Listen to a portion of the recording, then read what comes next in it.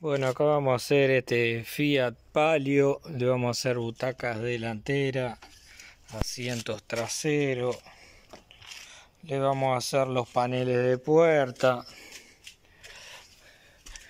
le vamos a hacer el techo,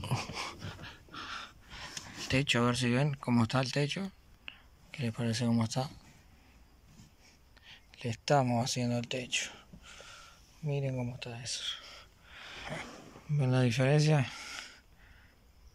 El techo pronto. Y el techo detonado.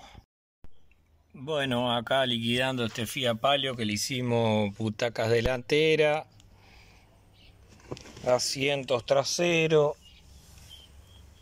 techo, no enfoca nada ahí, techo, techo quedó como nuevo está bastante feo. Bastante feo. Ahí no enfoca.